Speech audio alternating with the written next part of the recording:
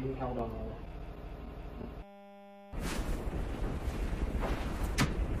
This is Captain America.